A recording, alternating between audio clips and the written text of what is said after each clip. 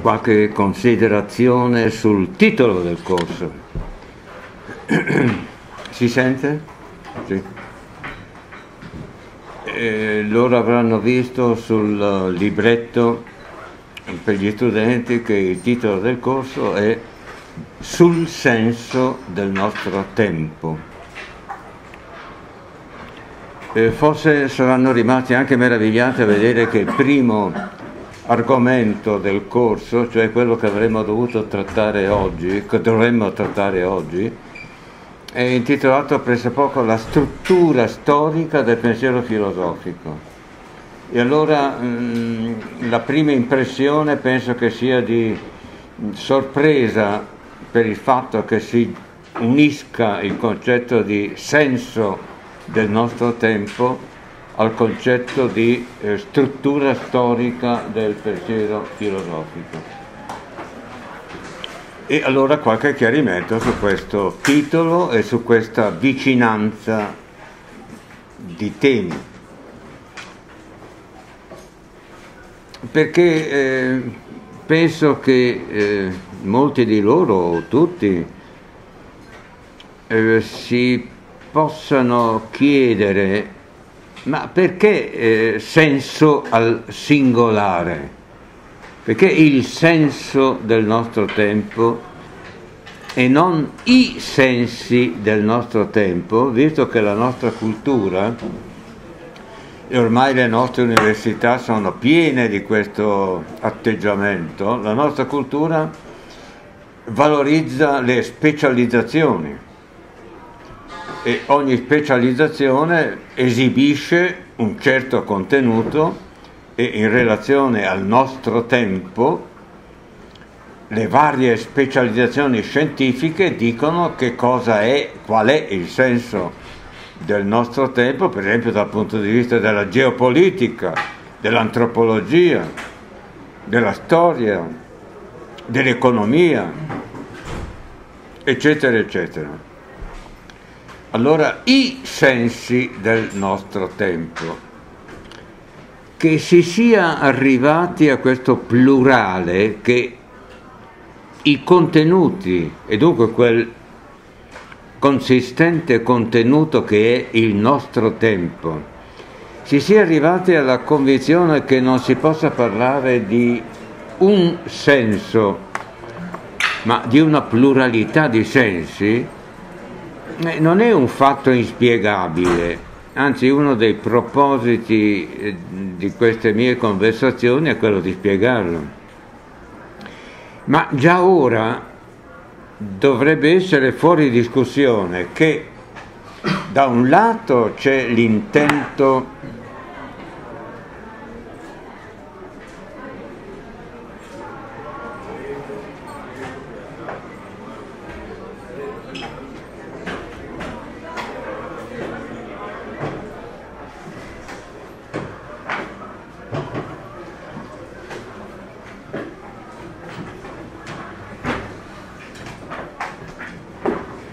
segue. Da un lato c'è l'intento di affermare l'esistenza di un unico senso, dall'altro contrapposto c'è l'esigenza di affermare l'esistenza di una molteplicità di sensi. Li elencavamo, senso geopolitico, senso economico, tecnico, storico, eccetera.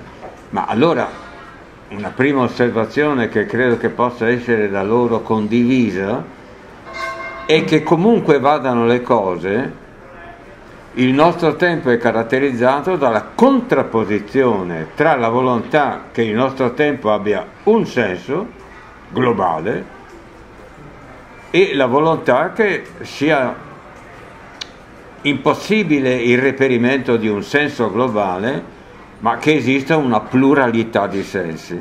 Quindi il senso sarebbe il contrasto tra l'unità e la molteplicità. Dunque, cari signori, noi cominciamo alle 11 eh, perché eh, facciamo dalle 11 all'una, quindi alle 11.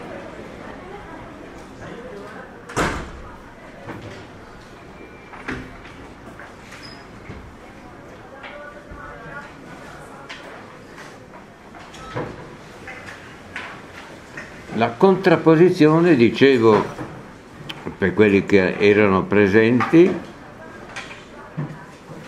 tra la volontà di unità, che significa possibilità di afferrare un comune denominatore rispetto a tutto ciò che oggi sta accadendo,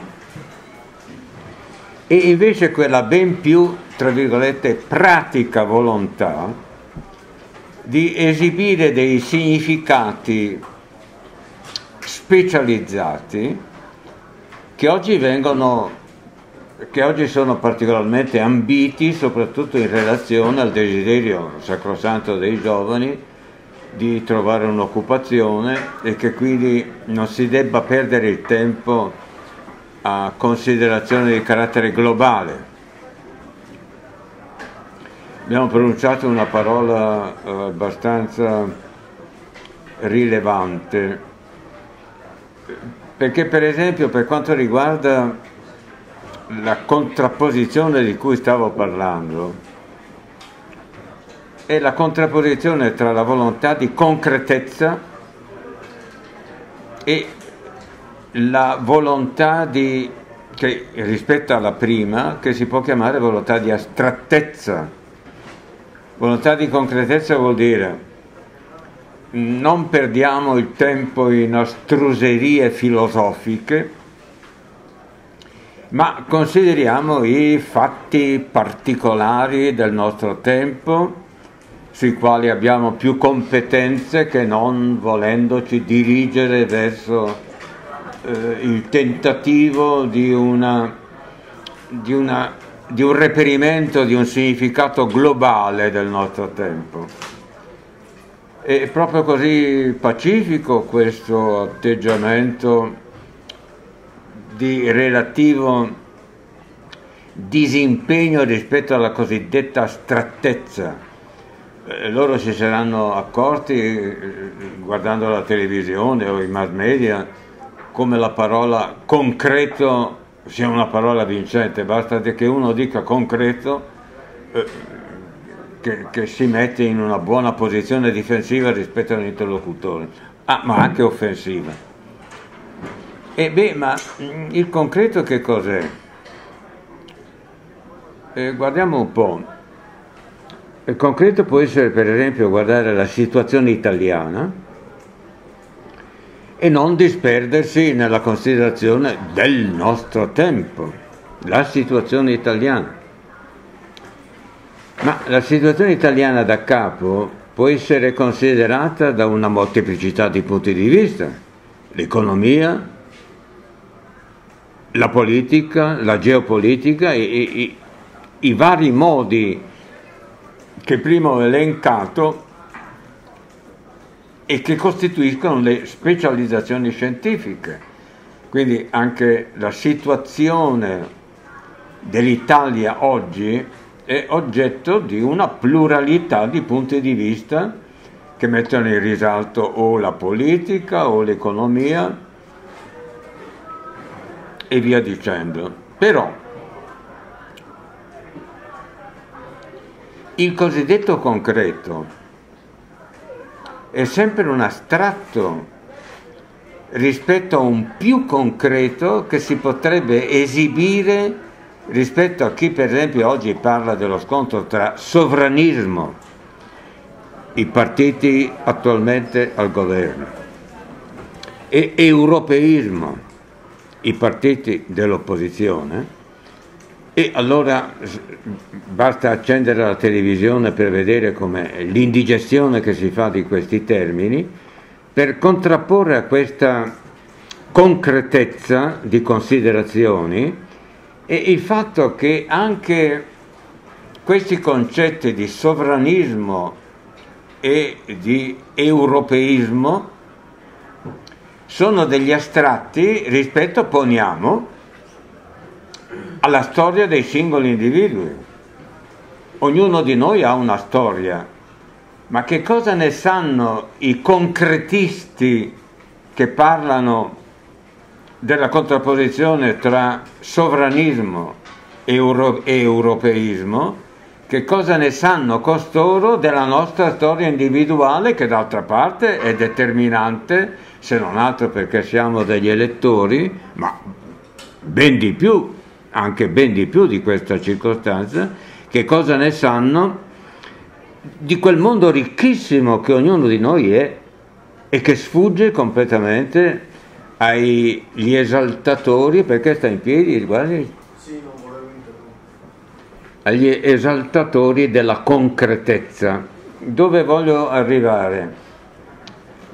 A dire che il concreto è la decisione di arrestarsi a un certo punto della volontà di concretezza la decisione relativamente arbitraria, per esempio, di non prendere in considerazione il nostro mondo particolare, eh, che non è soltanto il nostro, ma è quello degli italiani relativamente al rapporto tra sovranismo e europeismo, e la decisione di non prendere in considerazione tutta quel, quell'enorme ricchezza di fatti, di eventi, che d'altra parte costituiscono ciò di cui i mass media parlano quando parlano di contrapposizione tra, Euro, tra sovranismo e europeismo. E questa è una prima considerazione, cioè non è così scontata la primazia dell'atteggiamento concretista rispetto all'atteggiamento che potremmo dire astratto.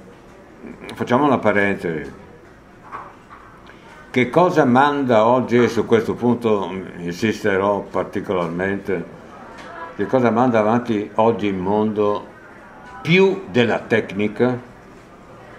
E che cosa è la tecnica se non l'applicazione della scienza moderna all'industria?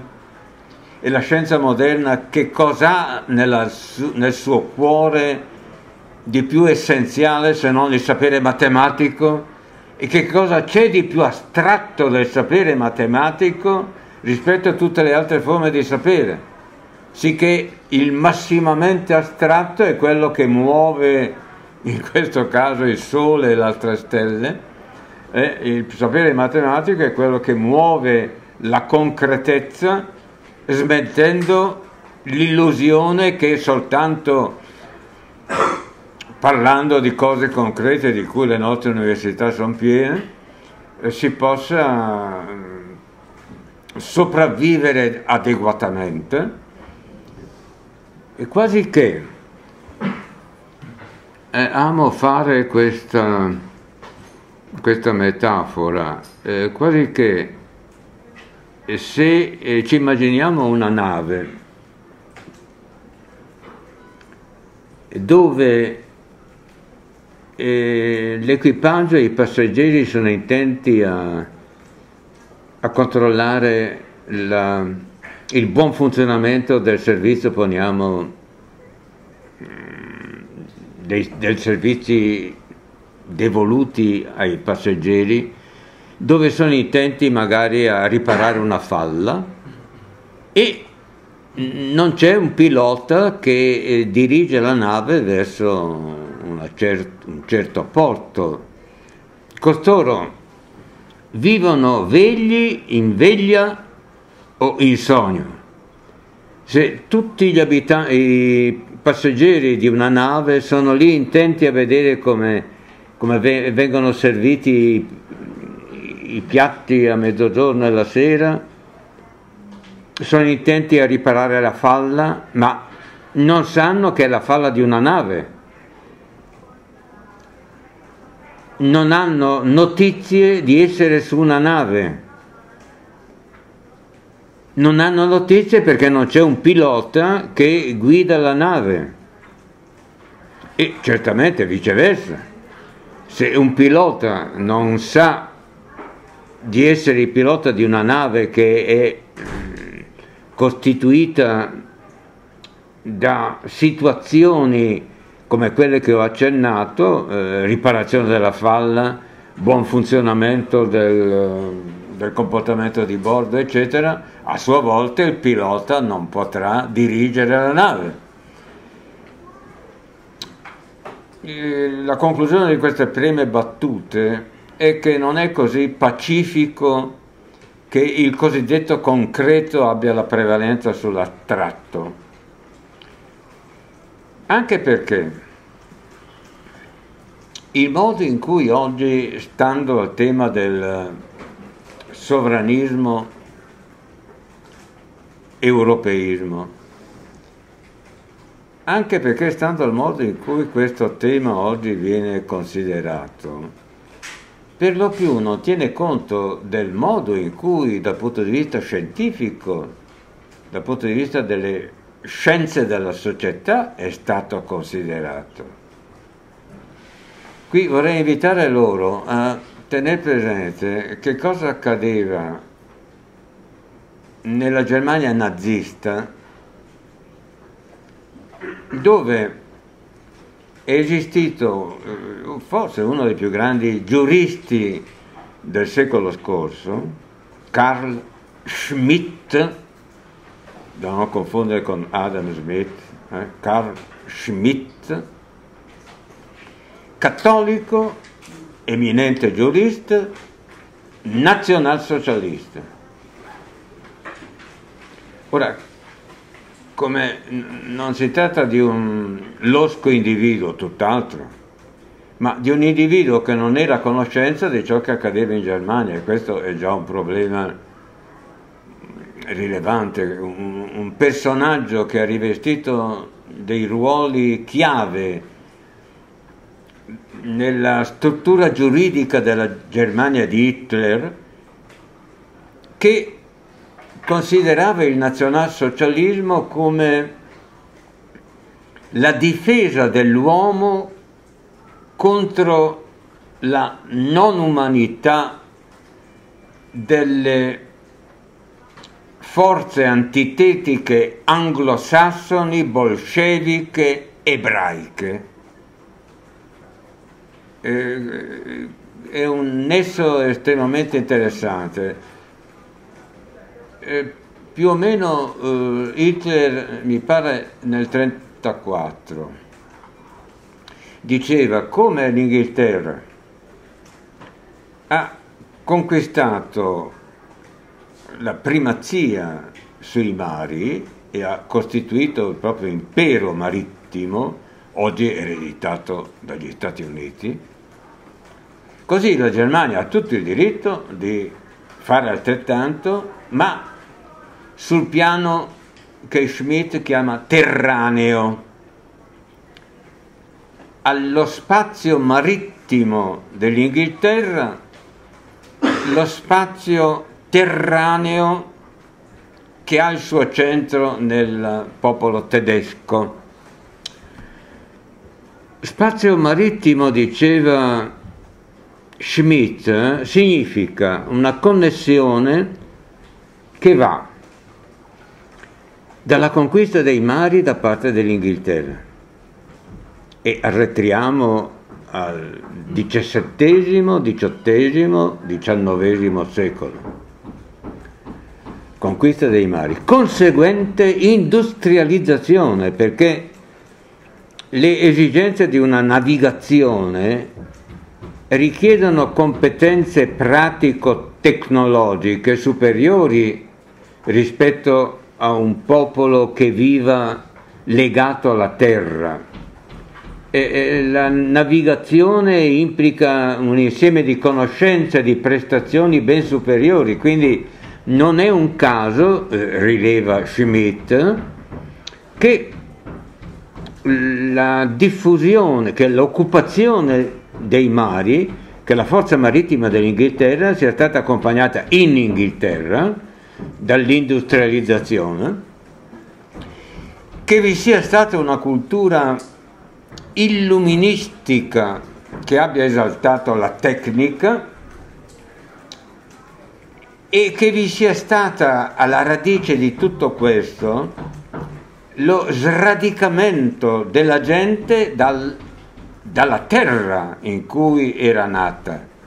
Sradicamento che ha la sua espressione, diceva Schmidt, in qualche modo anticipando ripetendo quello che diceva Heidegger, sradicamento che ha la propria espressione più significativa nello sradicamento del popolo ebraico che appunto ha dato vita alla diaspora più significativa del, del mondo moderno e contemporaneo. Diaspora vuol dire un popolo senza terra che adesso sì ha voluto, dopo la, prima, la, la seconda guerra mondiale, avere uno Stato, ma che nella sua complessità è diffuso è sparpagliato in tutto il mondo, è sradicato dal terreno.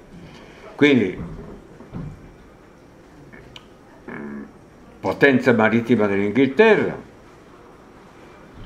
industrializzazione, tecnica, sradicamento dal suolo, celebrazione illuministica di questi fatti, globalizzazione e globalizzazione che ha un carattere eminentemente tecnico.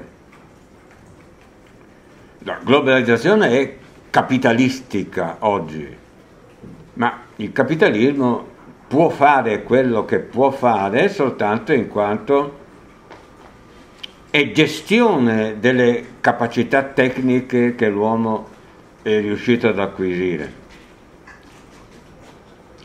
Allora, da questo quadro emerge la protesta della Germania nazionalsocialista per bocca di Carl Schmitt, la quale rivendica la necessità di un potere terraneo e quindi statale e quindi sovranista di contro a un atteggiamento globalizzante, tecnologico, che rispetto alla situazione italiana attuale corrisponde in grande a coloro che oggi in Italia rivendicano richiamano la necessità che l'Italia non abbia a sganciarsi dall'Europa.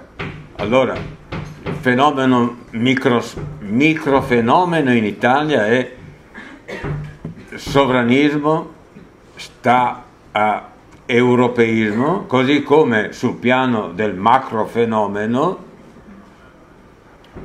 spazi terranei, Schmidt, sta a globalizzazione marittimo-tecnologica, ebraica. È venuta fuori eh, l'espressione tecnica e sarà una parola che ci occuperà per eh, non per poco, perché anche e soprattutto a proposito della tecnica, oggi si hanno idee eh, che nonostante la volontà di andare al fondo del fenomeno rimangono alla superficie.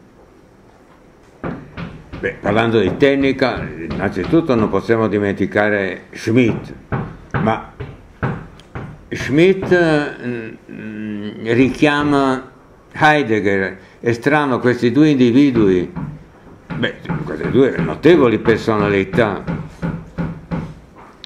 entrambi di derivazione cattolica, entrambi nazionalsocialisti, entrambi critici della tecnica, che però non sembra che avessero simpatia l'uno per l'altro. Ebbene, eh, vorrei provare a indicar loro che la tecnica di cui, di cui parliamo non è quella criticata da personaggi come Schmidt o Heidegger, ma non è nemmeno la tecnocrazia che rivendica invece la primazia, il carattere essenziale della tecnica. Quando parlo di tecnocrazia mi riferisco ai preamboli, innanzitutto eh, teniamo presente Saint-Simon, Saint-Simon, da Saint-Simon su su fino a Comte, a Veblen, questi sono i, i nomi chiave di un atteggiamento che considera la tecnica, potremmo dire dal punto di vista tecnicistico, scientifico, la tecnica così come è vista dai tecnici e dagli scienziati. Quando mm, ci accosteremo al significato della parola, accostandoci al significato della parola tecnica, e intenderemo sganciare questa parola dalle limitazioni che le competono in quanto considerata e dal punto di vista dei nemici e dal punto di vista degli amici della tecnica. Oggi eh, anche questo è un luogo comune si dice eh, la tecnica è presente, prevale nella vita dell'uomo, dal telefonino a, tutto il resto. Ma cosa vuol dire prevalere? Cosa vuol dire che la tecnica prevale? E innanzitutto, tecnica non è soltanto l'applicazione, come dicevo prima, della scienza all'industria, ma è la progressiva adozione dei criteri scien- delle scienze dure, fisica, matematica, biologia oggi, da parte di strutture che inizialmente non erano riportabili all'atteggiamento tecnologico. Quindi per tecnica io intendo un sistema di sottosistemi dove i sottosistemi sono sottosistemi economico, finanziario, sanitario, scolastico e via dicendo, burocratico. No, oggi noi eh, parliamo male della burocrazia, però Max Weber aveva indicato la necessità di una burocrazia che ben funzionante è ciò che consente allo Stato di sopravvivere. Eh, il guaio non è l'esistenza della burocrazia, è il cattivo funzionamento della burocrazia. Allora, per tecnica intendiamo questo sistema di sottosistemi, ognuno dei quali va adeguando le proprie procedure ai criteri della razionalità, dell'originaria razionalità scientifica. Il modo in cui vengono organizzati gli ospedali, le scuole, gli, uffici statali eh, e via dicendo. E la struttura militare, che se prima non ho enunciato, va enunciata per prima, visto che la tecnica oggi ha un culmine nella produzione di quegli apparati atomici che continuano come eh, dirò poi in, in, modo un po' più ampio poi, che continuano a determinare il rapporto tra i popoli oggi. Allora, il prevalere, ci eravamo chiesti, della tecnica, in che cosa consiste il prevalere della tecnica? Intesa come sistema di sottosistemi. E significa il riuscire a imporre il proprio scopo sugli scopi di altre forze. E oggi quali sono le forze in vita? le forze dominanti viventi, capitalismo, la democrazia, ma ancora il comunismo, perché è vero che il comunismo russo è finito, però la Cina è una interessante commistione di marxismo e di capitalismo. Quindi la Cina oggi ha una posizione preminente, come sappiamo, e quindi non si può dire ieri il comunismo, ma ieri il comunismo sovietico. Oggi ancora certe forme di comunismo. Le forze dunque che oggi sono dominanti, le stiamo elencando, capitalismo, comunismo, democrazia, cristianesimo, Islam, nazionalismi.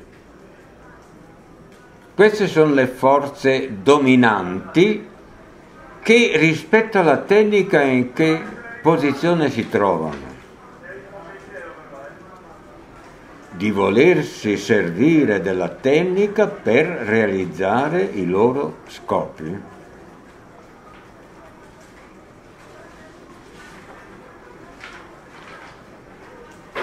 Il capitalismo che scopo ha?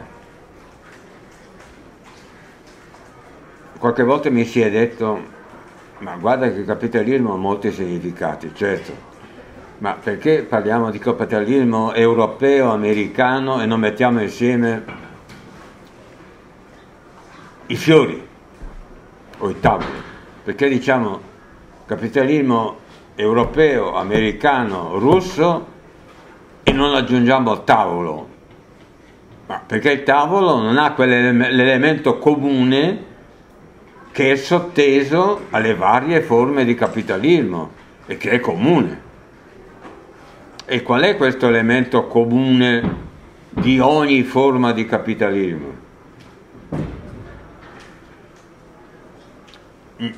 Altre volte ai vostri compagni, forse qui c'è anche qualcuno che ha già sentito quello che, che andavo dicendo nei corsi precedenti, altre volte dicevo che il capitalismo non è un'opera pia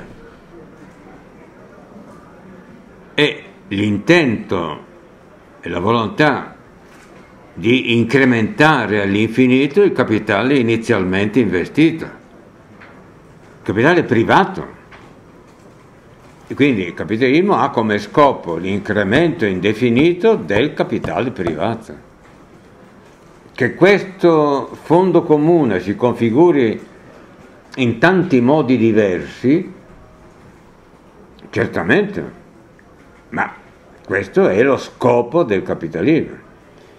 E per far questo il capitalismo non, non ha avuto bisogno di attendere la tecnica moderna perché da quando lo scopo della produzione economica non è stato più il benessere del Signore, la gente lavorava per il benessere del Signore. Ricordatevi la dialettica servo-padrone in Hegel. Da che lo scopo non è stato più la produzione di merci per il benessere del Signore, ma è stato la produzione di merci per l'incremento del denaro e questo è avvenuto usando una, le stesse tecniche che erano usate in età medievale, in età feudale, tuttavia nonostante l'adozione delle stesse tecniche il capitalismo era già nato, perché era cambiato lo scopo. Se a un'azione si cambia lo scopo, quell'azione cessa di essere quello che essa è. Se eh, esco per andare a passeggio, i movimenti che compio per andare a passeggio, anche se sembrano gli stessi, sono diversi dai movimenti che compio se esco per fare degli acquisti o per venire qui a San Raffaele a fare lezione. Sembrano identici, ma sono diversi. Se due si amano, il loro rapporto sessuale è diverso dal rapporto sessuale mercenario. A un cattivo osservatore può sembrare che si tratti delle, di comportamenti analoghi, ma non, non sono analoghi e non so perché non sono analoghi, perché lo scopo dell'uno dei due comportamenti è diverso dallo scopo dell'altro. Ancora un esempio, se un medico agisce per guarire, anche se le sue azioni sono identiche, sembrano identiche, sono tuttavia diverse dalle azioni compiute da un medico che agisce per guadagnare Ciò non toglie che delle volte ci faccia guarire di più un medico che vuole guadagnare di un medico che ci vuole far guarire. Però non è questo il punto che voglio sottolineare. Da sottolineare è la circostanza che le due azioni sono diverse. Altro è l'apparentemente identico comportamento di un medico che vuol farci guarire, altro è l'apparentemente identico comportamento di un medico che ha come scopo il guadagno. Ritorniamo al rapporto tra tecnica e forze dominanti. Ci eravamo domandati, la tecnica prevale, cosa vuol dire prevale? E avevamo cominciato a rispondere dicendo il prevalere e l'imporsi dello scopo della tecnica sugli scopi delle forze oggi dominanti. Le avevamo alla buona enumerate, capitalismo, comunismo, eccetera, democrazia, le quali hanno scopi diversi, una dall'altra. E non si creda, non credano che per il fatto che eh, il capitalismo va insieme alla democrazia, capitalismo e democrazia siano lo stesso fenomeno.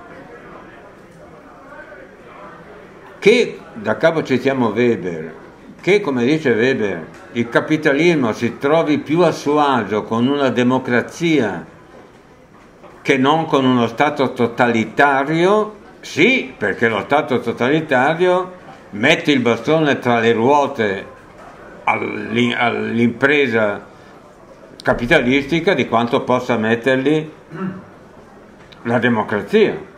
Ma ciò non vuol dire che democrazia e capitalismo costituiscano lo stesso fenomeno e infatti lo scopo della democrazia non è l'incremento del profitto privato.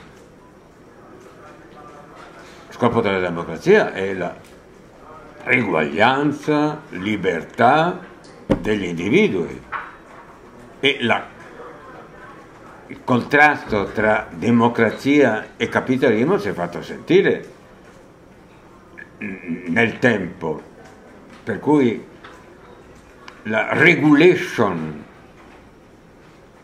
del capitalismo è in buona parte dovuta alla democrazia e la deregulation del capitalismo è in buona parte dovuta all'indebolimento delle barriere democratiche rispetto allo strapotere del capitalismo. Facciamo un passo avanti. Non solo ognuna di queste forze è diversa dal capitalismo. non solo ognuna di queste forze ha uno scopo diverso dal capitalismo, hanno anche scopi tra loro diversi. Quando parlo di queste cose, eh, l'esempio più alla portata di mano è, ecco abbiamo parlato di cristianesimo e di democrazia.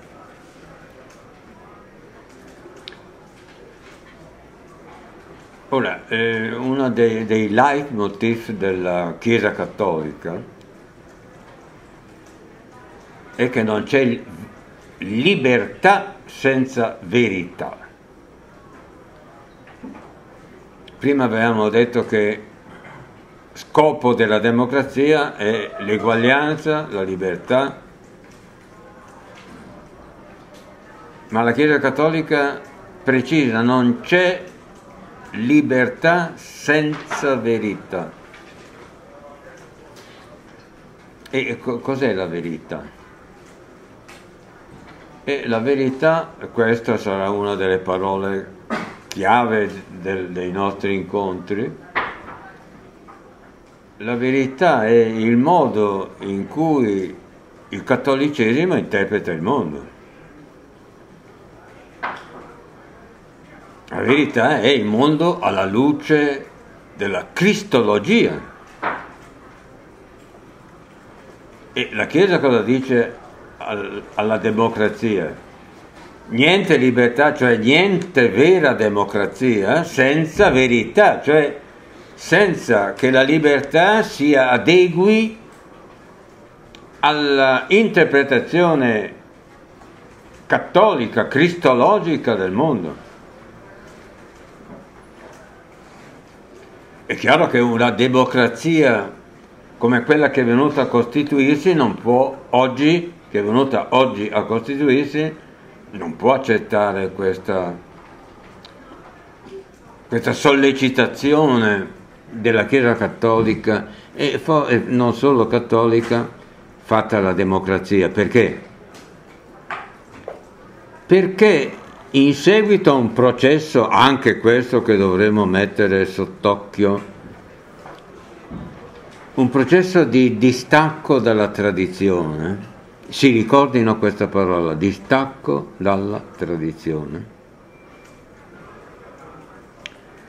al concetto tradizionale di democrazia che potremmo chiamare greco-medievale dove la democrazia significa l'adeguazione dello Stato alla verità, è venuto eh, questo concetto di democrazia è stato sostituito, ma non soltanto teore, teoricamente, ma anche praticamente, è, è stato sostituito dal concetto di democrazia procedurale. Democrazia procedurale ha molti effetti, eh, cominciando da Jefferson, presidente degli Stati Uniti, la religione è un fatto privato. Eh, loro sanno che questo è, è il Satana dal punto di vista dell'Islam che la religione sia fatto privato è il negativo per eccellenza. La religione per l'Irland deve essere fatto pubblico. Stato uguale teocrazia. Questo per l'Irland. Ma la democrazia quale è praticata in Occidente si è, è sganciata, è proprio per questo che c'è l'urto tra mondo capitalistico cristiano e mondo islamico. La democrazia si è sganciata da questo, da questo rapporto con la verità, è diventata democrazia procedurale. Cosa vuol dire? Vuol dire le convinzioni religiose e anche la cosiddetta verità sono faccende degli individui. Sul piano pubblico, ciò che decide è il parere della maggioranza espresso con le elezioni. Se vogliamo usare la parola verità, allora verità che cos'è? È il risultato elettorale dove legge diventa ciò che è stato deciso dalla maggioranza. Allora, questo vuol dire mm, l'antiteticità, il carattere antitetico della democrazia procedurale rispetto all'esortazione della Chiesa Cattolica a che non ci sia libertà senza verità. Ma potrei continuare, mm, tengono presente ciò di cui intendo parlare, cioè il carattere conflittuale, se eravamo arrivati col discorso non solo tra le forze dominanti e la tecnica, ma dicevamo all'interno delle forze dominanti. Quindi facciamo un secondo esempio. Il rapporto da, da capo tra Chiesa Cattolica e capitalismo questa volta. le encicliche, le ultime encicliche eh, parlano chiaro in proposito. La Chiesa Cattolica cosa dice al capitalismo? Sì, tu sei un sistema di produzione della ricchezza superiore all'economia, di, all'economia pianificata di tipo bolscevico o cino-capitalistico, eh, ci intendiamo cosa intendo dire con questa espressione. Tu capitalismo, dice la Chiesa Cattolica, sei un sistema, ripeto, di produzione più efficace della ricchezza che non l'economia pianificata. Però tu capitalismo devi avere come scopo il bene comune. Eh, provino a, a, ricordare cosa dicevamo prima quando parlavamo del medico, dei rapporti sessuali, della passeggiata, che se si fa cambiare scopo a un'azione, quell'azione non è più quella che era. Se al capitalismo si dice guarda che tu non devi più avere come scopo il profitto privato, il quale può restare come mezzo, ma devi avere come scopo il bene comune, un concetto che risale ai greci, a Aristotele, a Platone. E allora al capitalismo si dice, in forma che non intende essere violenta, ma quello che il comunismo bolscevico diceva al capitalismo in forma violenta. Tu devi finire di essere, tu devi cessare di essere. Tu, perché? Ma perché il tuo scopo non può, non può essere l'incremento del profitto privato. Lo scopo deve essere per il comunismo la società senza classi. Eh, questo è un esempio eh, tra i molti che loro possono svilupparli per conto proprio, per conto loro, si possono fare per chiarire come le forze oggi dominanti che si servono della tecnica sono peraltro tra di loro in conflitto. Chiarita la qual cosa, proviamo a fare un passo avanti sono tra di loro in conflitto e dicevamo si servono tutte della tecnica, della tecnica moderna, della tecnica guidata dalla scienza moderna. Che il capitalismo si serva della tecnica non c'è bisogno di chiarirlo. Qualcuno potrebbe avere qualche perplessità per quanto riguarda il cristianesimo, il cristianesimo si serve della tecnica? E come? tanto che eh, se il detto evangelico non sappia la mano sinistra di quello che fa la destra. A proposito della carità, fosse applicato oggi, è l'opera di aiuto che il cristianesimo vuole dare ai popoli sottosviluppati sarebbe impossibile. L'aiuto ormai è non più la carità privata, è la carità cosmica. La Chiesa non, non, non intende più che i singoli diano l'obolo al mendicante che si trova per strada. Ormai è un problema cosmico, la carità è un problema cosmico. E l'organizzazione della carità è indispensabile, una carità cosmica non organizzata fallisce. Ma l'organizzazione della carità cosmica è un evento di carattere tecnoscientifico. Non è un caso che uno dei sistemi di eh, cibernetico telematici esistenti al mondo sia del Vaticano. E perché deve far sentire la sua voce ovunque. Se non facesse sentire la sua voce eh, si ritornerebbe alla situazione privatistica della carità.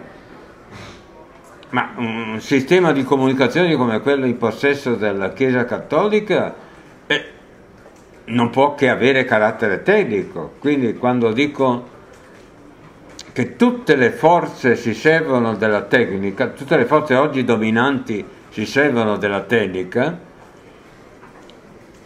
non possiamo fare eccezione per il cristianesimo, essendo peraltro facile riconoscere che capitalismo, democrazia, nazionalismi, comunismo ci sono serviti e ci servono della tecnica.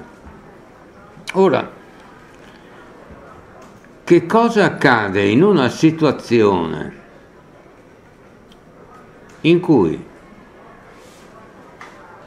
un, una pluralità di forze si serve della tecnica e queste forze sono in conflitto tra di loro. Conflitto vuol dire, conflitto tra me e te vuol dire ti lascio stare? No, conflitto tra me e te vuol dire i miei scopi devono prevalere sui tuoi. Il mio scopo deve realizzarsi, il tuo no. Potrà assumere la figura di mezzo, ma se io ti vinco, ti vinco perché il mio scopo si realizza, il tuo no.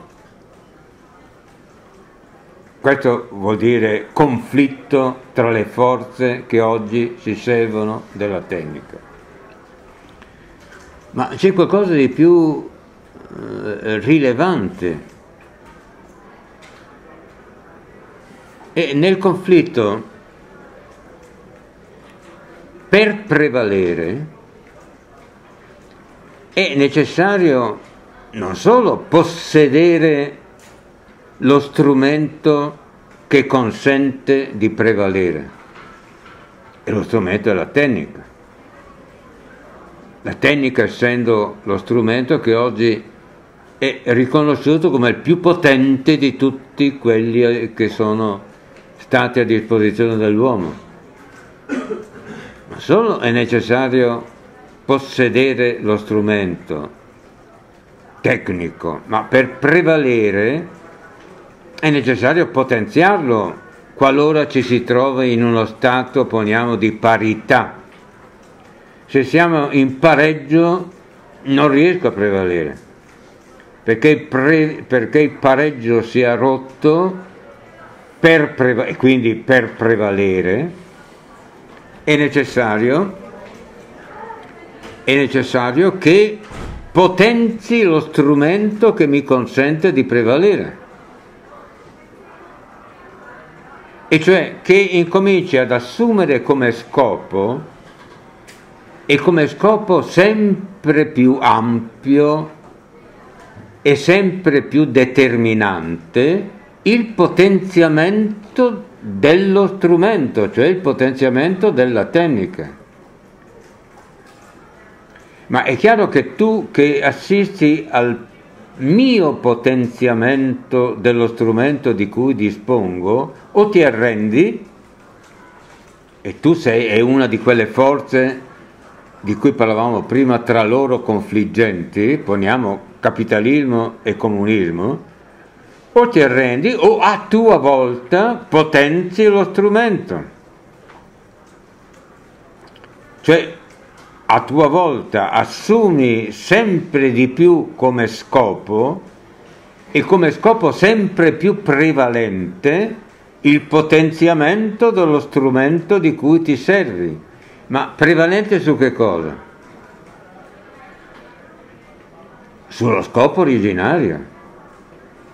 Allora, lo scopo originario del capitalismo è l'incremento indefinito del profitto privato. Eh, si figurino lo scopo come un cerchio, mm? un cerchio che deve essere realizzato, eccolo là, il cerchio. Ma stiamo dicendo perché il cerchio sia realizzato bisogna potenziare lo strumento allora lo scopo non è più soltanto quel cerchio uguale incremento indefinito del profitto privato, ma è il potenziamento del mezzo. Allora quel cerchio viene ad essere sempre più occupato dal potenziamento del mezzo, cioè lo scopo acquista sempre di più i caratteri del potenziamento del mezzo a detrimento dello scopo originario, cioè in questo caso a detrimento dell'incremento indefinito del profitto privato.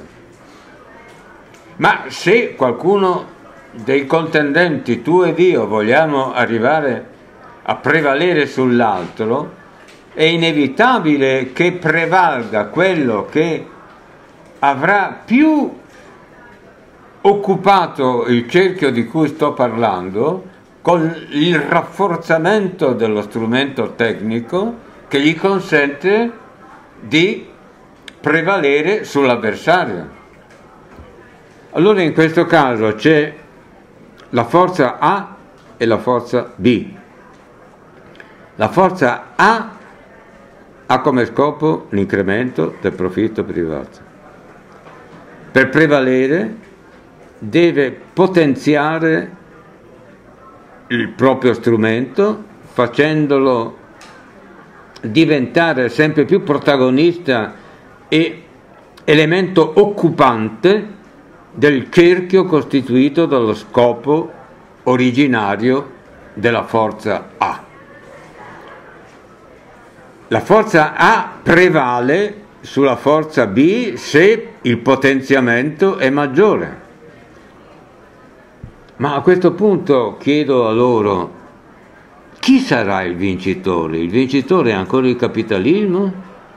Oppure è qualcosa che proprio perché per voler salvare il capitalismo ha dovuto incrementare la potenza del mezzo che avrebbe dovuto realizzare il capitalismo, proprio perché per questo incremento ha modificato lo scopo, proprio per questo ha come scopo qualche cosa di diverso da ciò che lo definiva e chi è il vincitore allora? È il capitalismo o è la tecnica? Io mi ricordo che avevo in una tavola rotonda con e Ciocca, non so se lo conoscete, è quell'economista notevole, e, beh, insomma non so se mi interessa, ma gli avevo presentato questo questo discorso, date due forze, se una delle due, perché in principio non era molto convinto di questo discorso, se una delle due ha come scopo il proprio scopo definente,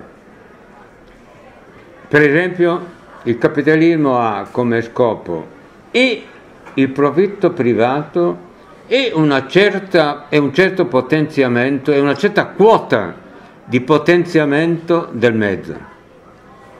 Forza A forza B, forza A rispetto a quello che dicevo prima. E se un'altra forza invece ha come scopo unicamente il potenziamento del mezzo, quale delle due è destinata a prevalere?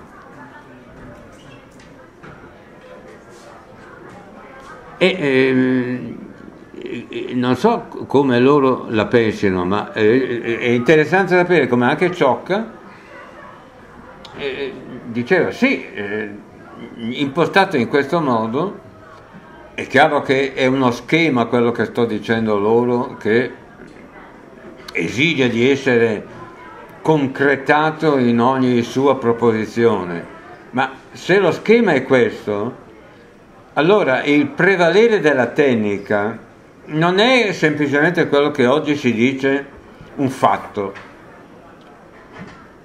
ma è una necessità, è un qualche cosa di inevitabile.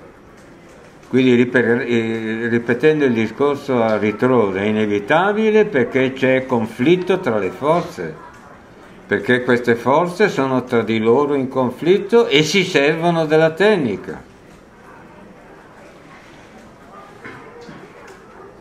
Ma a questo punto credo che la domanda princeps che loro si fanno dovrebbero farsi è questa. Ma come mai queste forze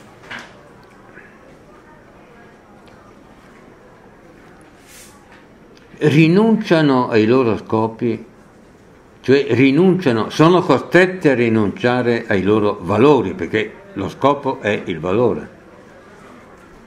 Che cosa è accaduto perché possano decidersi a cedere alla tecnica il ruolo di forza realizzante lo scopo che a questo punto non è più lo scopo dell'Italia o dell'Europa, ma è lo scopo planetario.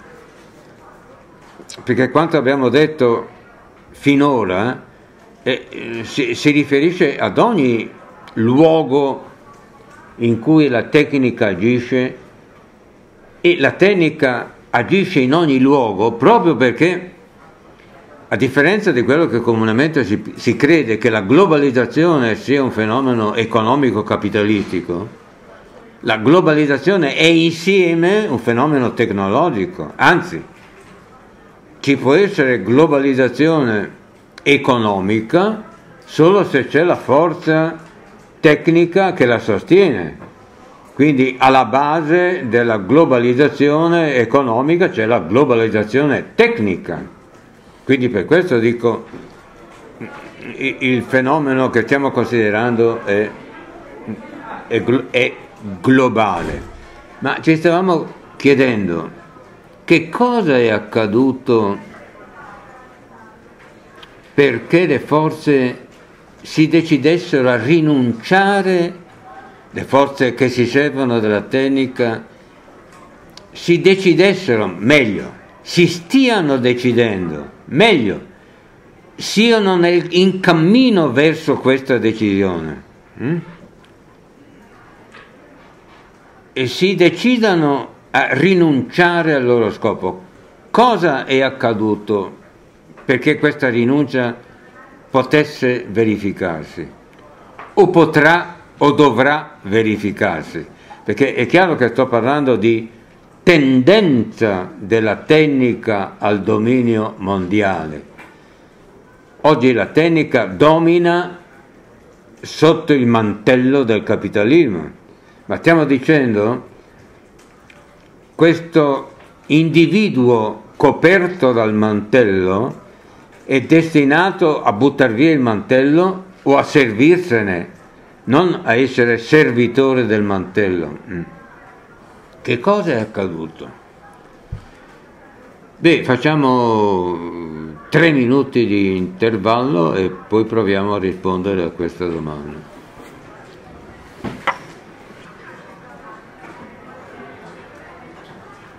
Mm, la lotta che si è verificata in Russia per la realizzazione della società senza classi ha richiesto sacrifici enormi.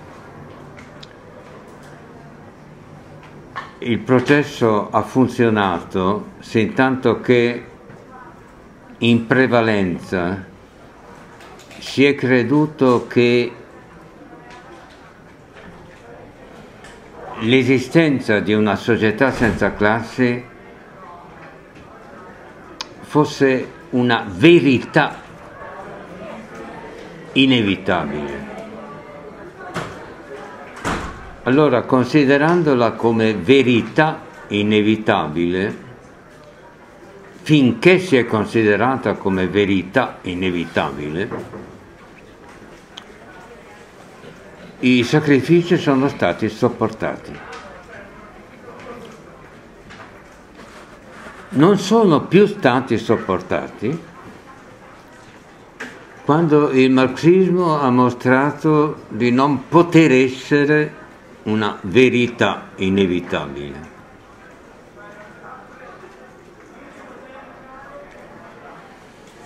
Questo vuol dire che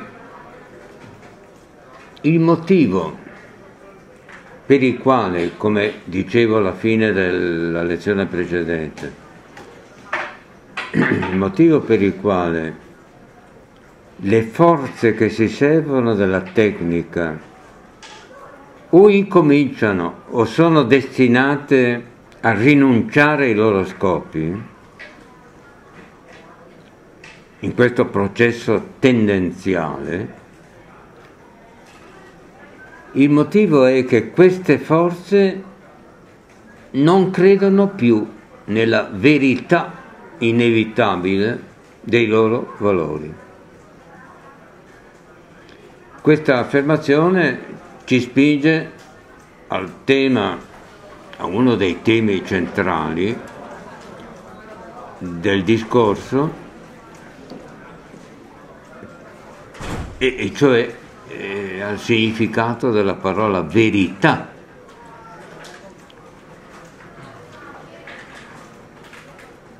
Ci stiamo cioè allontanando dalla attualità sotto la spinta della impossibilità di comprendere l'attuale senza questo allontanamento.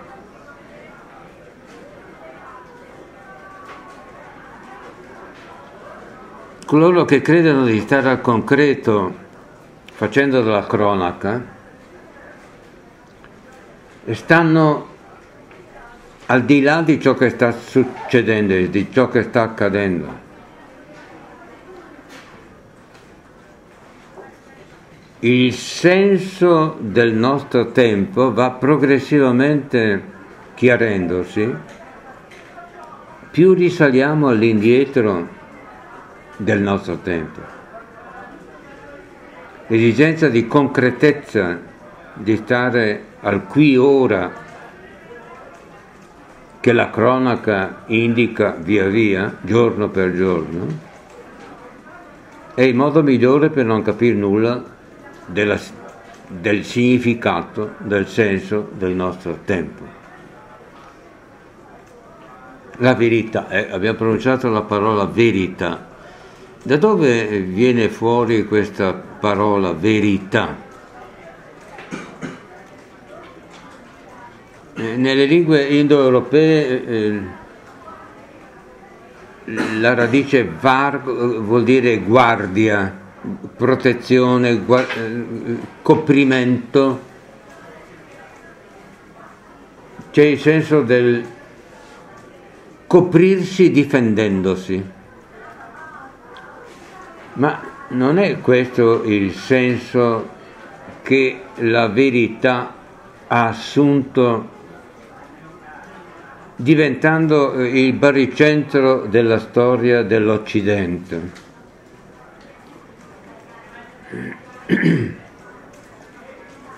Verità significa quello che il pensiero greco, il pensiero filosofico greco, ha incominciato a dire intorno a questa parola, che anche in greco ha una forma diversa linguisticamente dalla parola verità, Wahrheit. In greco la verità si dice aletheia. Credo che in questa università l'avrete o lo sentirete molte volte, aletheia. Aletheia è un alfa privativo A che vuol dire non. Letheia che da ultimo è riconducibile a lezze che vuol dire oblio, nascondimento. Aletheia è il non nascosto non nascosto. Però eh, l'enfasi che Heidegger pone sulla parola aletheia, e non c'era bisogno di Heidegger perché si sapesse che aletheia vuol dire non nascondimento, perché basta aprire un qualsiasi vocabolario di greco per vedere che aletheia vuol dire non nascondimento. L'enfasi di Heidegger su questa parola non tiene presente che il modo in cui questa parola compare nel pensiero greco è espresso nel modo mm, più pertinente dall'espressione aristotelica. Episteme tes aletheias Aletheia è nominativo, aletheias è genitivo. Episteme, noi diciamo epistemologia. Ma perché epistemologia? Eh, eh, epistemologia viene da episteme. E questa parola che cosa dice? È composta dalla preposizione ep e dalla forma sostantivale stene. Ep vuol dire sopra. Steme vuol dire indica lo stare e proviene dalla radice indoeuropea sta, sta. Noi diciamo lo Stato, stehen, episteme, lo stante sopra. Heidegger eh, riflette su Aletheia, ma episteme, dice Aristotele, episteme tessa lezeias, lo star sopra che è proprio del non nascondimento. Non, è, non c'è soltanto il non nascondimento. Eh, se ci dimentichiamo di episteme, allora non cogliamo il senso che i greci danno alla parola verità. Lo stare, cioè lo stare vuol dire il non essere abbattuti e nemmeno scossi da forze contrastanti che minacciano, che minaccino la stabilità dello stante, il quale dunque in questa sua capacità di stare sta sopra quelle forze che vorrebbero negarlo, metterlo a soqquadro, abbatterlo, lo stante il non nascosto è ciò che sta, riesce a stare su ciò che vorrebbe smuoverlo. Ma quindi il non nascosto è un contenuto di un sapere, di una, di una visione, quindi è un sapere ciò che è non nascosto.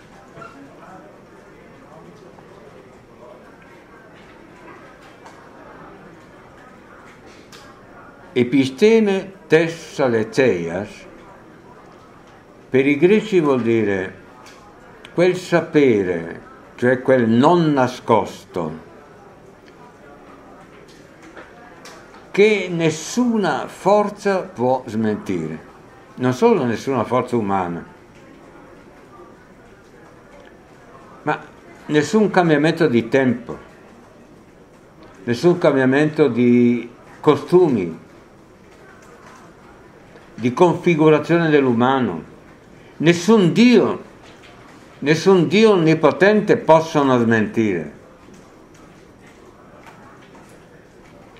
Ora accade spesso che nelle, nelle università si imparino tante cose, ma non si rifletta sulla cosa più importante, sul, sull'evento più importante, che è il riuscire a guardare il senso dell'assolutamente non smentibile, che peraltro è un senso che noi continuamente maneggiamo quando per esempio lo scienziato dice in modo paludato e apparentemente modesto, noi non vogliamo dire verità definitive, ma enunciamo, e oggi la scienza ha i suoi buoni motivi per dirlo, enunciamo verità ipotetico di carattere statistico probabilistico.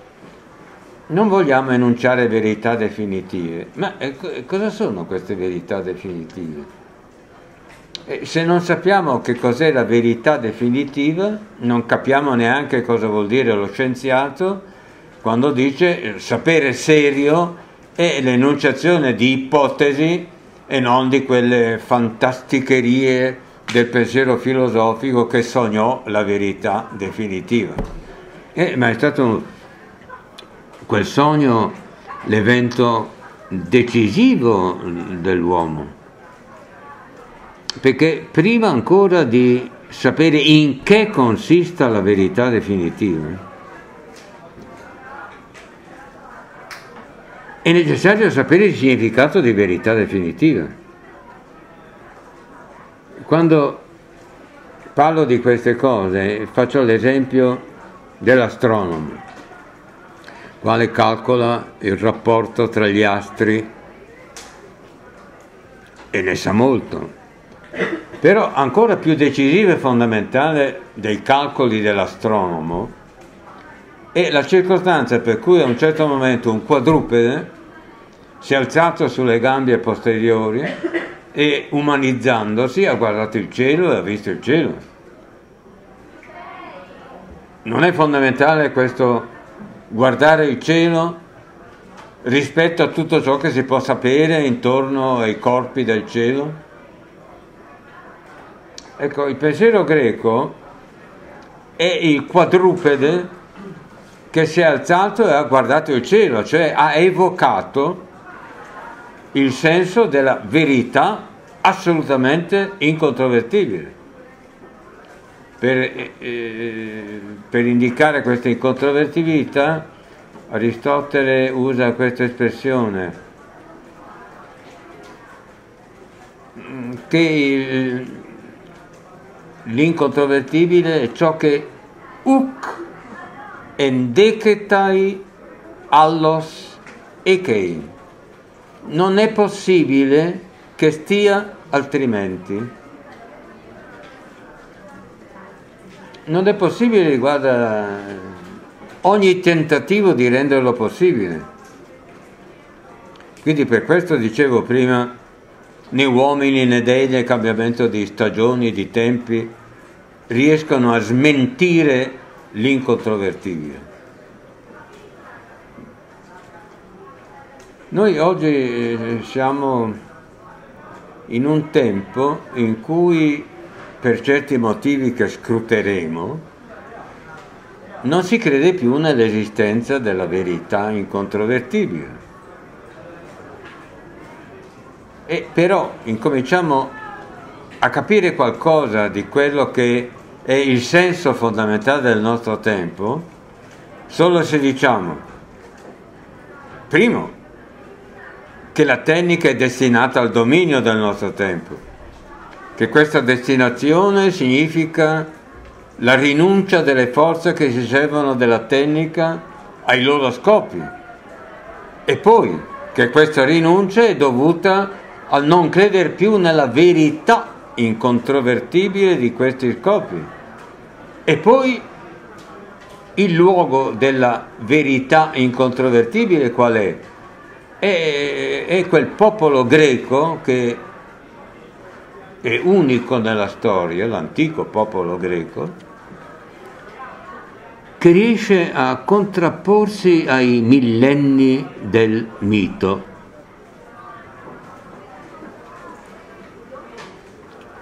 E i millenni del mito si fanno sentire ancora. Noi ci troviamo più a nostro agio nelle nostre convinzioni, come le chiameremo queste convinzioni? Nelle nostre fedi, nel modo in cui abbiamo fede nel mondo. Ci troviamo più a proprio agio, a nostro agio, con le fedi che non con la non fede in cui consiste l'episteme tes aletheia.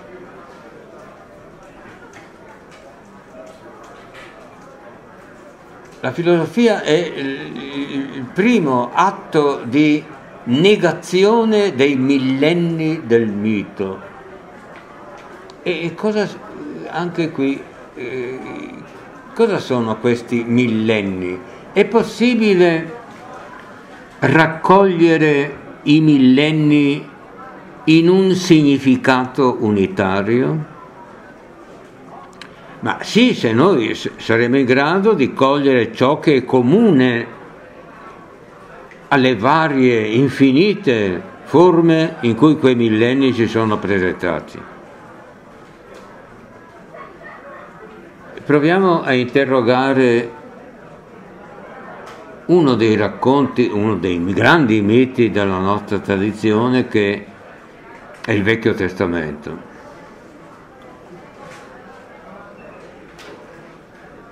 Che cosa accade eh, di essenziale nel Vecchio Testamento, all'inizio del Genesi?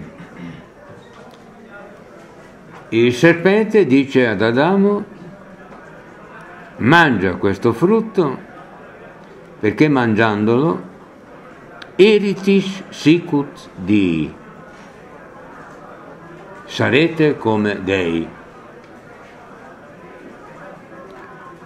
Il plurale non lo consideriamo perché in quel contesto è Yahweh che è il Dio. E Adamo e Eva mangiano il frutto, cioè decidono di mangiare il frutto della conoscenza del bene e del male. Ma cosa vuol dire eritis sicut di? Adesso io avrò un'enfasi che lascerà loro molto delusi perché è quello che loro sanno già da sempre. Cosa vuol dire essere come Dio, come dei? Proviamo a pensare insieme a questo, a questo evento. Vuol dire restare ciò che si è?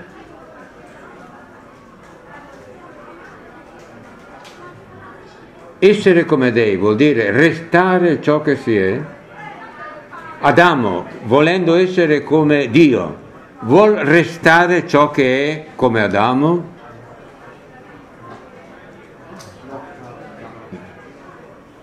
In questo caso chi tace non la consente. Dico bene? Vabbè.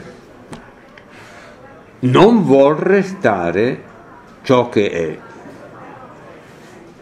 E cosa vuol dire non voler restare ciò che è?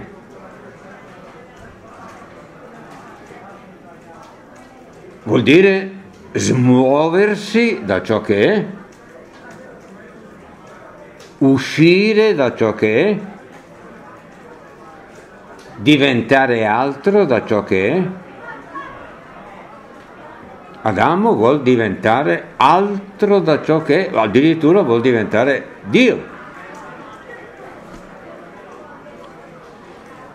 Ma questo voler diventare altro da ciò che si è è una peculiarità del Genesi veterotestamentario o è il fenomeno essenziale dal quale dipende l'esistenza dell'uomo sulla terra? Proviamo a vedere come si risponde a questa domanda. E io credo che tutti noi abbiamo la sensazione di essere stati da bambini in una condizione in cui dovevamo farci largo, amo dire innanzitutto respirando, perché la dilatazione del petto implica un farsi largo, abbiamo avuto tutti la sensazione di doverci far largo in ciò che ci stringeva e in quanto ci stringeva era una barriera, per vivere, per vivere dobbiamo incominciare a respirare, a dilatare il petto, ma la dilatazione poi è progressiva, perché non basta dilatare il petto, dobbiamo poi succhiare il latte, muoverci, sfondare la barriera che inizialmente circonda l'uomo.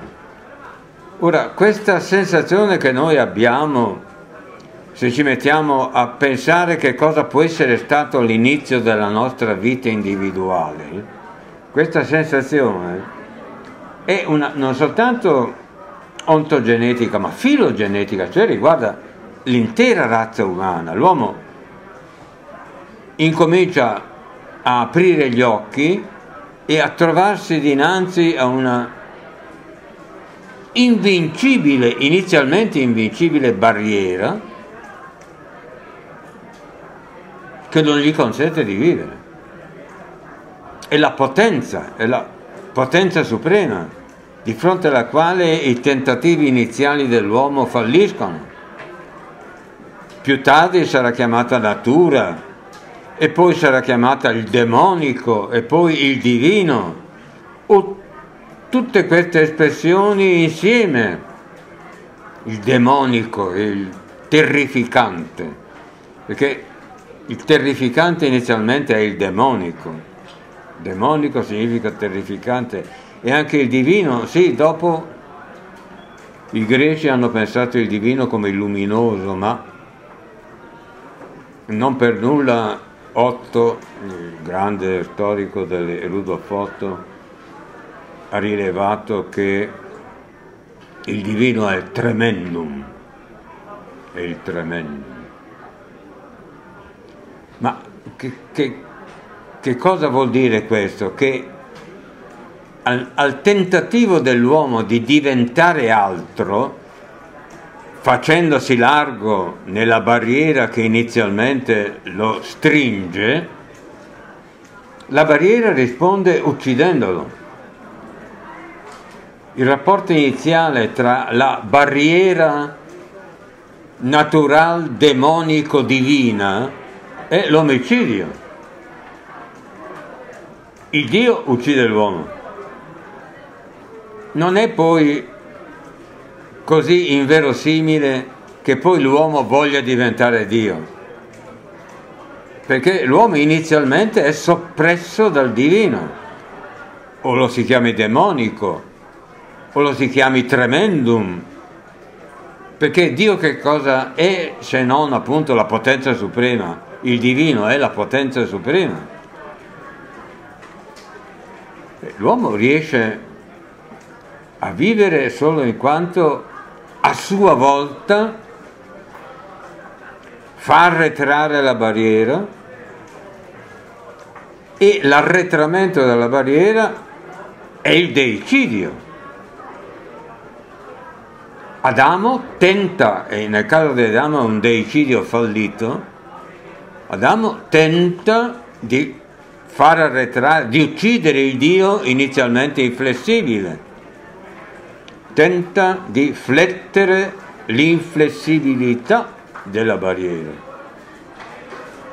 Ma sia da parte di Dio, sia da parte dell'uomo, che cosa accade se non un voler far restare non l'uomo, l'uomo che si affaccia e che vuole aprirsi un varco e da parte dell'uomo che cos'è il suo volersi il suo voler fare un, farsi un varco se non un diventare altro? L'uomo vuole diventare altro. Dio a sua volta il divino eh, uso la parola Dio per, perché, è più, perché è più breve ma dovrei fare la sequenza demonico, divino, tremendo, naturale, eccetera. Eh? A sua volta il divino intende arrestare l'uomo, e cioè rispetto alla volontà dell'uomo di diventare altro, anche la volontà di arrestarlo è un farlo diventare altro. Se io voglio uscire e qualcuno mi tiene fermo, e rispetto alla mia volontà di uscire mi arresta, mi fa diventare altro. Quindi c'è un reciproco voler far diventare altro i due protagonisti, l'uomo da una parte, il demonico dall'altra.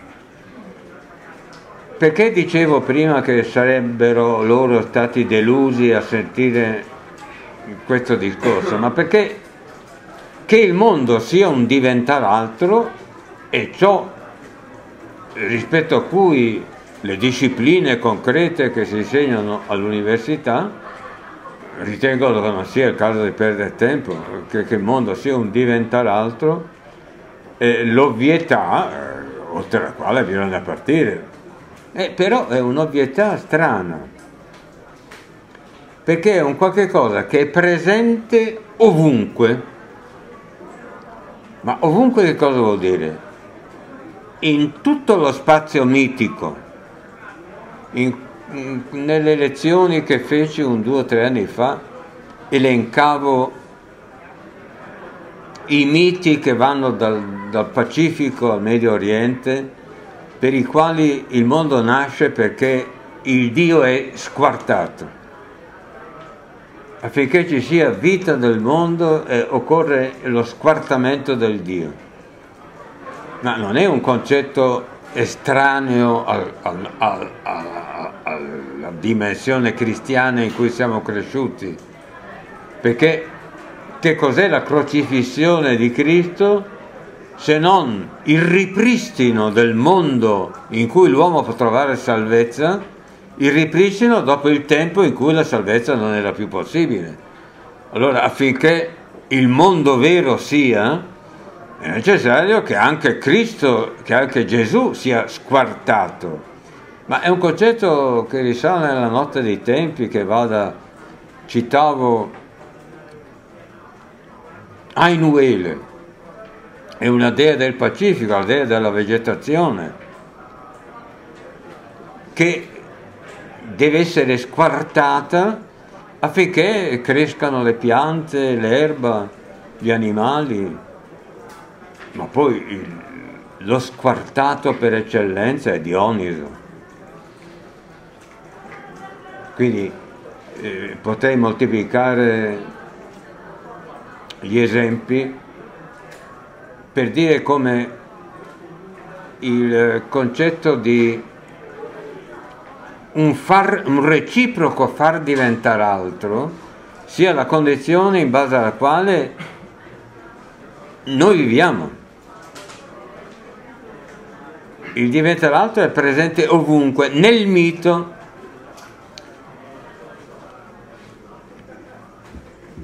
E la filosofia?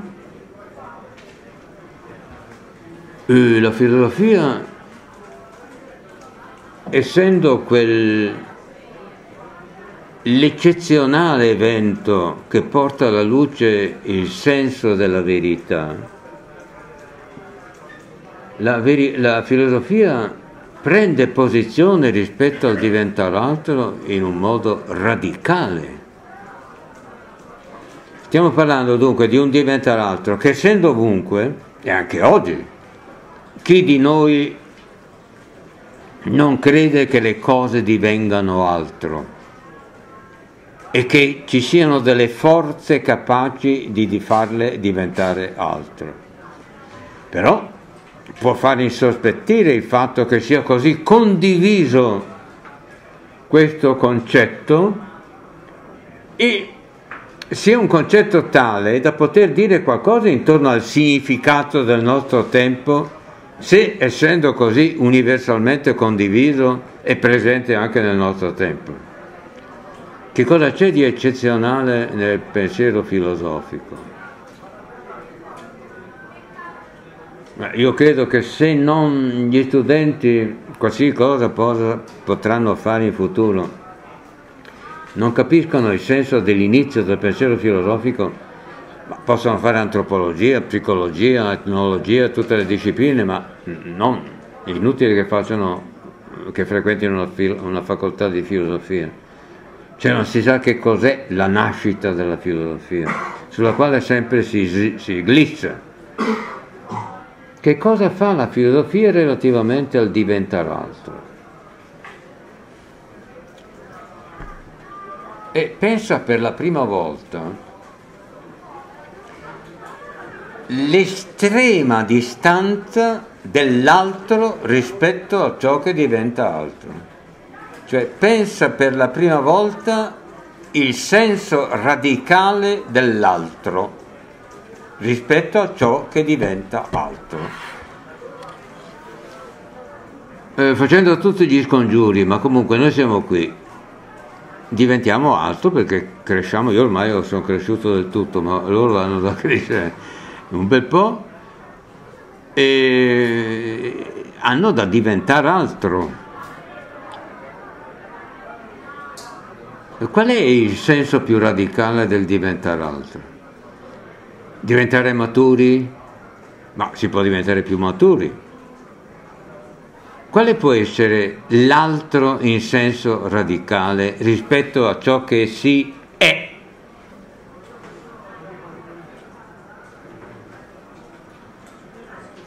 E allora provo a dire la parola nulla. L'assolutamente altro nel diventare altro è il nulla. Nulla, eh, sì. Anche Omero parla degli ukontes. Ukontes in greco vuol dire uk non, ontes essenti, non essenti. Ma quando Omero parla di non essenti, intende i morti. E i morti sono qualcosa che nello stesso mondo omerico, sì, vivono nelle ombre, però sono ombre, non sono diventati nulla. Sono ancora un qualcosa di infelice, anche in Virgilio, eh, questa infelicità nel mondo dell'aldilà si incontra, ma gli uk ontes non sono ancora ciò che poi Kant chiamerà nil negativum o nil absolutum e che era pensato come nil absolutum già da, dai greci. L'assolutamente nulla di tutto ciò che in qualche modo ha un significato. Questo, questo non essere non è semplicemente gli ucontes, i morti di cui parla Omero, è l'assoluto al di là rispetto ad ogni significato, o siccome le due espressioni sono identiche, rispetto a ogni ente intendendo per ente un, tutto ciò che è significante. Di qui la difficoltà poi di pensare di nulla, perché anche il nulla è un significante, ma non complichiamo il discorso. Il nulla di per sé è ciò che sta al di là di ogni significato.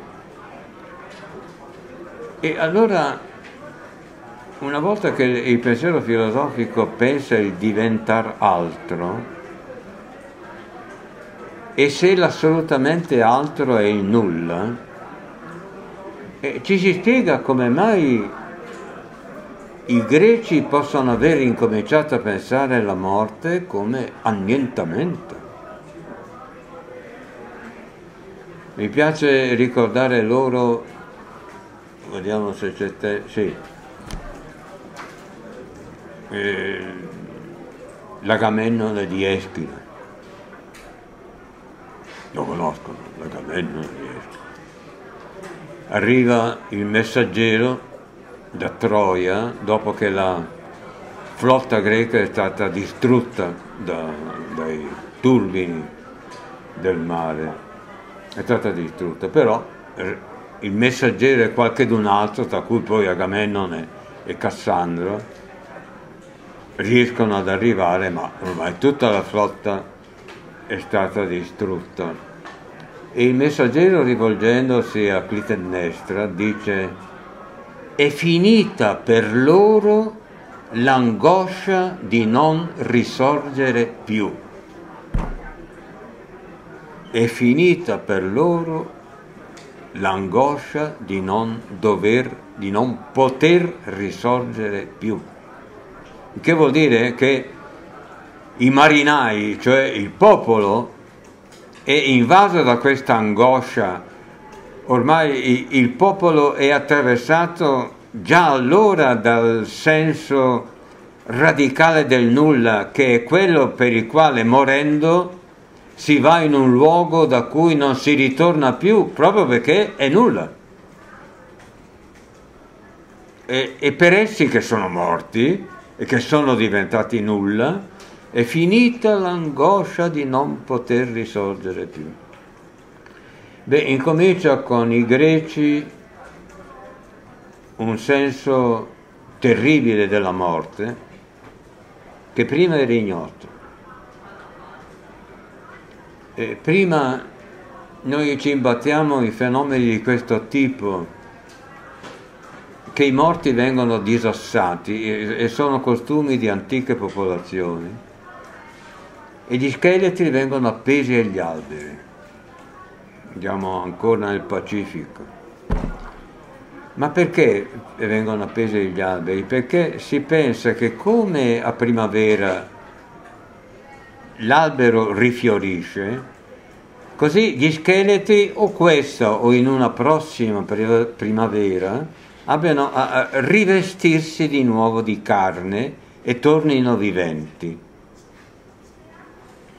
Ecco, questo grande sogno del mito, un sogno che dura millenni, e viene dissolto dalla comparsa del pensiero filosofico, dalla comparsa dell'episteme tessaleteias, dove allora ciò che, e questo sottolineiamolo, ciò che incomincia a stare non nascosto è proprio il diventare altro a partire dal non essere stato e al ridiventare niente, è proprio il diventare altro lo origina, l'originariamente stante. E infatti quando noi ci meravigliamo per questi discorsi sul diventare altro e diciamo pensiamo a cose più serie, e, e, diciamo questo perché? Ma perché siamo convinti che è un'evidenza così indiscutibile il diventare altro e il diventare da altro, e ormai è diventato un'evidenza indiscutibile che tutte le cose non sono state e torneranno a non essere, che perché si accende un lume di speranza in noi rispetto al, nuovo, al futuro, e occorre una fede, per esempio la fede cristiana, la quale parla della grazia di Dio, la quale sì, farà rinascere ciò che di per sé però sarebbe definitivamente morto. Occorre un potere meraviglioso come quello di un Dio onnipotente perché sia vinto il nulla della morte. Ma tra le forze che vanno al tramonto oggi, che tendono ad andare al tramonto, perché la tecnica tende a prendere il sopravvento, e anche il cristianesimo. La crisi del nostro tempo è la crisi della tradizione occidentale. Di questa crisi avrei voluto parlare oggi, non, non c'è stato tempo. Quindi le mie lezioni prossime saranno tutte sfasate, perché oggi sono riuscito a dire la metà di quello che volevo dire, e, e, quindi cercherò di rabberciare la volta ventura in qualche modo. Arrivederci.